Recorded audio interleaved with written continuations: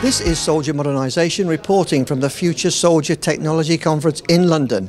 I'm joined by Andy Murdoch of Glenair. Andy, thanks for talking to us. Let's start by asking you a bit about the history of Glenair, particularly on the military side. Yeah, absolutely, Brian. So, so Glenair is a uh, is a US company, and we have facilities over in the UK, Germany, and Italy. Uh, it's a private company, and it's been working in the aero military uh, business for, for over 60 years now, um, and it works in the connector cabling uh, area.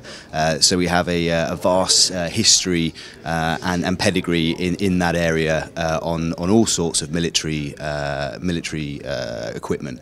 Um, and one of the product lines that we're looking at putting across to or this week over in London is, is our product line Starpan. Oh, okay. Well, tell us a bit more about that then. Yeah, absolutely. So, so Starpan is a uh, a USB uh, 2.0 uh, power and data hub, um, and what it enables uh, the warfighter to be able to do is connect up his uh, his existing uh, and future periphery devices, so things like radios, GPS, laser rangefinders. Um, the hub enables distribution of power to those devices, so you can reduce the weight of batteries and and, and, and equipment on the soldier messenger, uh, but it also distributes information up onto a tablet.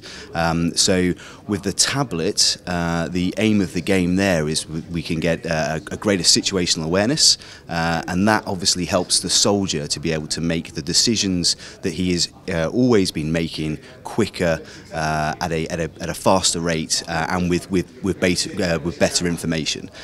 so allowing them to, to, to actually take, take the fight to the enemy a lot, a lot quicker. Um, so, so yeah, very useful tool. Very useful tool. Um, there are some issues when uh, when connecting up it. There are some uh, some problems that uh, you will find when connecting up a commercial off-the-shelf device, such as a, a Samsung phone. Um, and uh, and for that, we we've we've developed some new equipment as well. And is that something to do with this new thing that you're you're talking about? Is it Mission Manager that you have here? Yeah, yeah, absolutely. So uh, this is a great new world that, uh, that, that we're living in with uh, with these soldiers, and it's it's at that pioneering level. Um, and what, what we have is uh, we're we're merging military equipment with the commercial off-the-shelf equipment, um, and and that's primarily because we want to leverage the the capabilities that that commercial off-the-shelf equipment enables us, which is for the phones is is is is, is a great product. Uh, the young soldiers now are very used to using these, but those phones are never designed to work with the equipment uh, together. Uh, so so we come across some issues. Uh, so what we've what we've come up with to fix that is this thing called the Mission Manager, and essentially um, it's a small matchbox size box, and it has a, uh, a Linux OS running on it.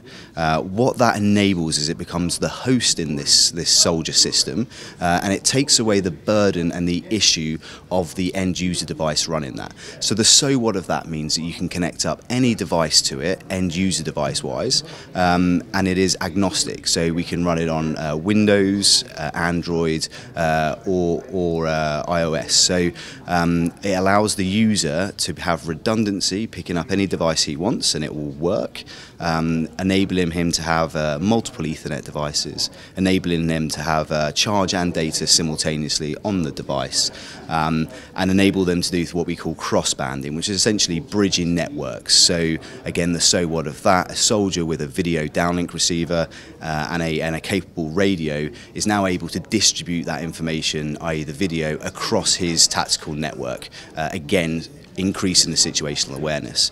Um, so a very powerful tool uh, and one that we're very proud of uh, and it's uh, we're now getting it out to market uh, for people to fix the problems that, that, that the soldiers are now facing, making their life a little bit more easier.